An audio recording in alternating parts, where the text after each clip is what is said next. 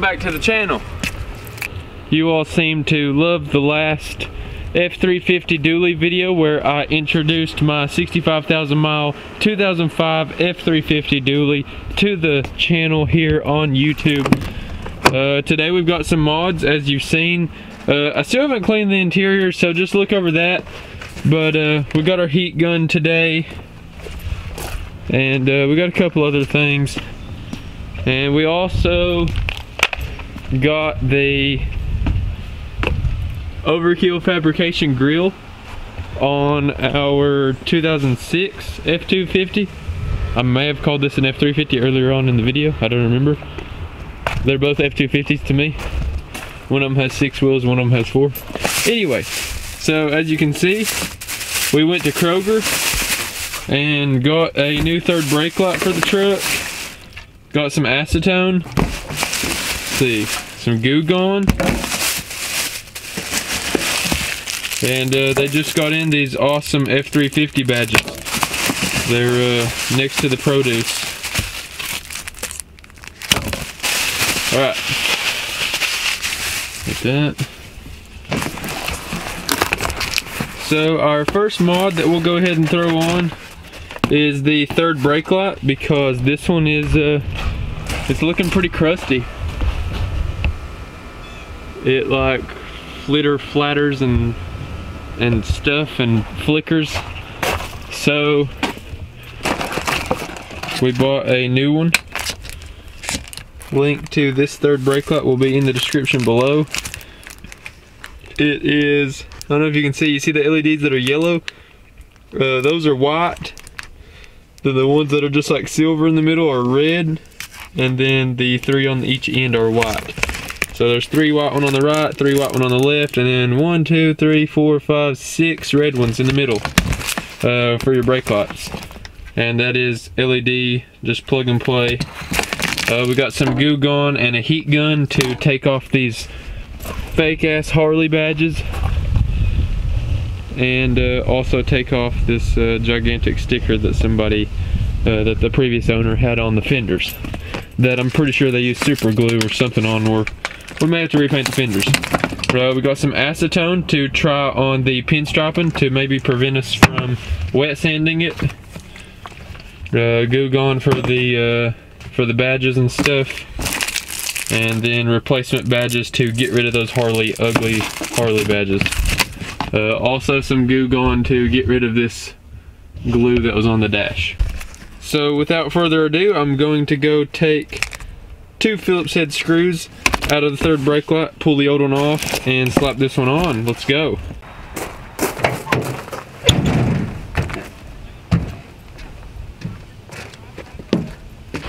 Okay, now I reckon it should be as easy as taking out these two hefty Phillips head screws and taking off this pile of Recon garbage.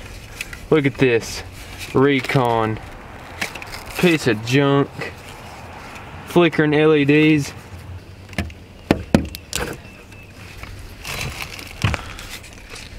Look at this Recon.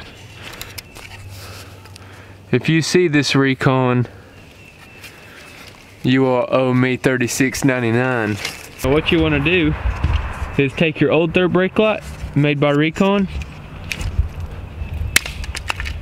and just toss it then come over here.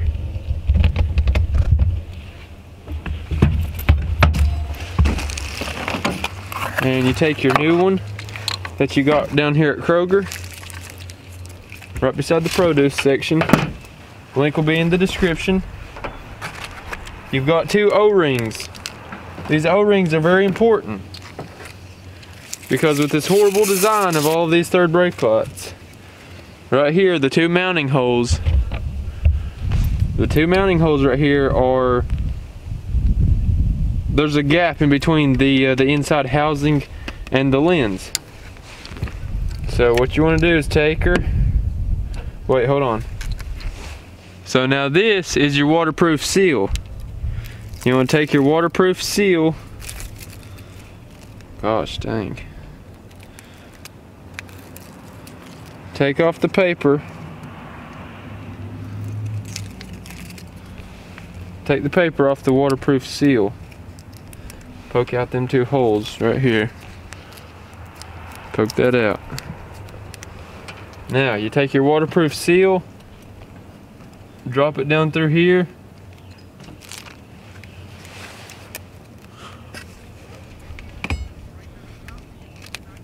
And uh,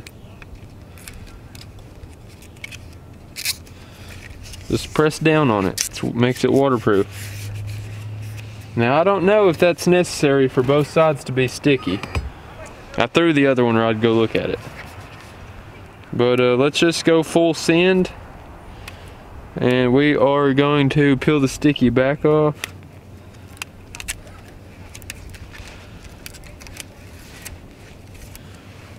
And uh, plug it in.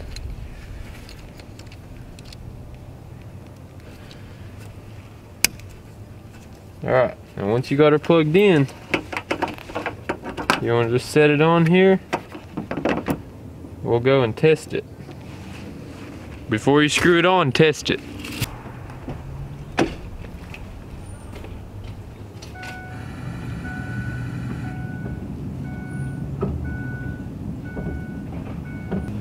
After you've checked it and seen if it worked, you just want to reuse your Phillips head screws, except this time you want to get these O-rings and if your third brake light doesn't come with these O-rings, then just don't even put it on. Because it's just gonna get water all in it. You can have a third brake light that has a good seal on it. And if you don't put these O-rings on, then it's still gonna get moisture inside of it. So take these O-rings and push them on. They go all the way up to the top. I don't even know if you can see that. Right there you go. Put those O-rings all the way up at the top. Take one of your screws.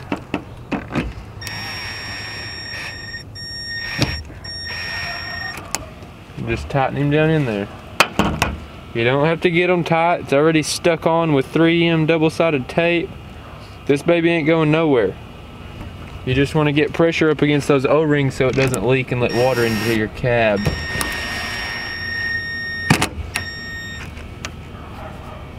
Okay, that seems to be tight enough. So of course, after you put those on with the uh, the drill, you want to check back over them with a normal screwdriver. Make sure it has good pressure up against the uh, the cab, and make sure that the O-ring is fully seated in there, so then moisture or water doesn't get in there. All right, on to the next mod, boys. All right, so on to the next thing, we need to get these ugly Harley emblems off uh, and replace them with the new ones. So you want to heat these up with the heat gun and get them very, very hot to where you can hardly touch them. And then that's hot enough. Don't take them no further. Don't start melting the chrome or doing no crazy stuff like that. Uh, you want to pinpoint right in the center so then the heat travels out, down and up uh, just keep on heating back and forth. Don't just sit in one spot and don't go slow. Just go back and forth. Heat it up evenly. And then if I can't get these off by, by just pulling on them, then I'll run some fishing line in behind them to get them started and then just pull them off. So I've already got them preheated for video purposes. We're gonna go ahead and hit them one last time Just get them warmed up. I've already got this pulled out just a little bit, so nobody comment below and say that I already had that done because I know that I already had that done. You don't want to sit here for 30 minutes and watch a heat gun. Alright, so get them hot. And I have this angled plastic pry tool. It's angled like that. All I do is just use a little microfiber cloth, set underneath it, maybe double fold. And then I use that to cushion it then I shove that back in there and pry on it. It's exactly what I've done. Okay. So now that I've got them pried out enough, I can put that in there. Pull out on that.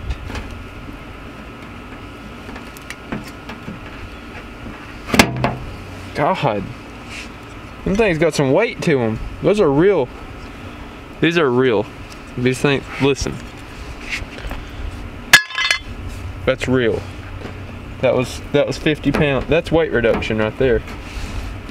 Oh Lord, yeah. Hopefully this glue comes off all nice. Whoa, boys, look at that.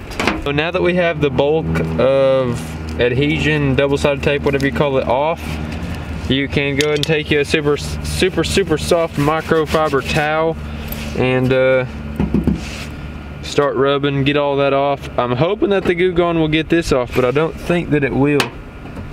It's like hard. I don't know if they use Gorilla Glue or what, so we're probably gonna end up having to wet sand every bit of that trim around and then rebuff this panel. So I'm gonna figure out something here and then I'll catch you here in just like five seconds. One, two, three, four, five. All right guys, so we got some bad news. It's not horrible, but it's bad news. Uh, the dually had some Bully Dog emblems, like the Bully Dog brand. They make like cold air intakes, tuners, whatever. Uh, it had some of the Bully Dog logos underneath the Harley badges, and I peeled those off like the day that I bought it. And uh, they had left an outline, and I just now finished up buffing what I could uh, I ended up having to wet sand down the fender right here. Um, someone has super glued the emblems on, so I actually ended up taking a razor blade and picking off as much as possible but the super glue or whatever glue they use has actually melted into the clear coat. So if I sanded it down either way there's going to be this line. So we're going to go ahead and just buff all the scratches out that I put in it. We're just about done. I've got one more step to go. Uh, like I said, we had to do like a whole buff on the whole truck anyway, so I'm not too worried about it. I just want it to be, uh, you know, presentable. And so I'm gonna go ahead and slap this emblem on and then pull the new emblem out of the bag. Like I said, this just is double-sided tape. So you go and peel all that tape off. Don't put the M1 upside down. So you want to just kind of eyeball it. You don't want to put it crooked. I'm going to put it as low as possible. Just covering up that dot right there.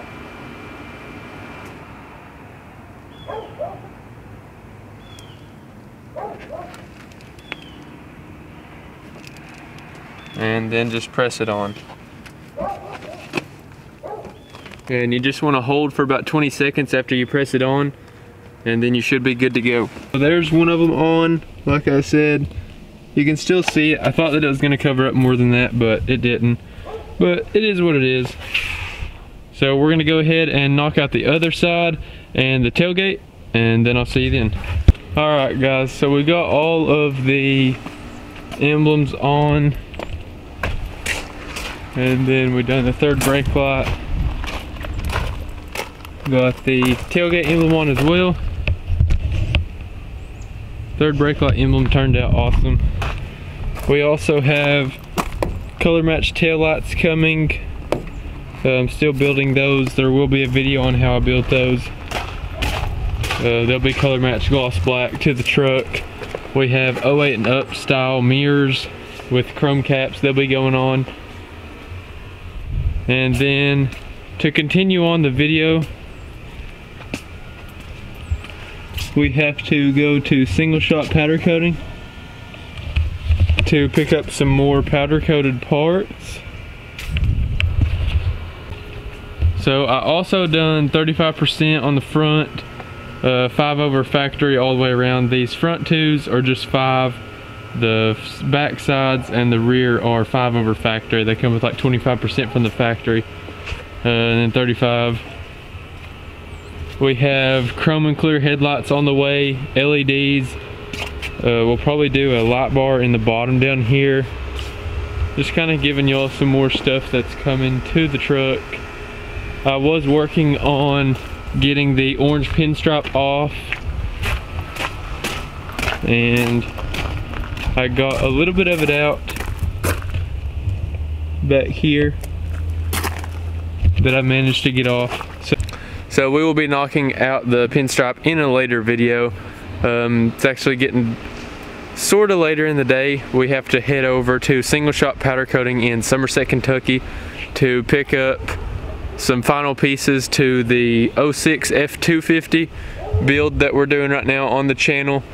Uh, if you want to check out more on that truck, go ahead and click that subscribe button down below. Um, so we're going to go ahead and head to single shot powder coating and I will see you in the next video. Peace.